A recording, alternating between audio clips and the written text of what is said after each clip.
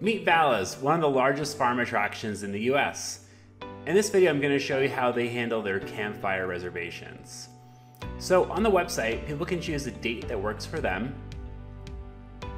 And now they can see a map of all the different campsites and the different price levels too. Right now, we'll select one of the campsites.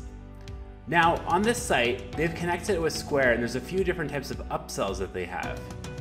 So after you select a campsite, you can choose which Square upsell you'd like, such as mac and cheese, potato salad, hot cocoa, and you can add them to your order.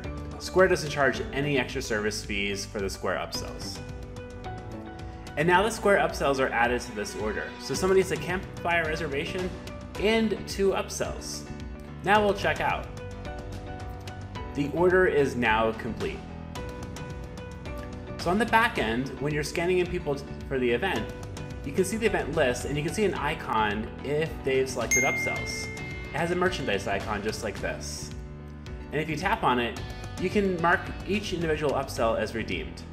This is great for t-shirts, products, food, anything. You can also go from the attendee list and tap that upsell icon too to also mark it redeemed. The day before the event, your staff can go into the back end of SimpleTix to pull up any specific event time to know how much products to get ready for the day of the event. So in this case, they'll know exactly how many pies to bake or how many s'mores kits to make. Well, thanks for watching this video today on how to use SimpleTix with Square for product upsells.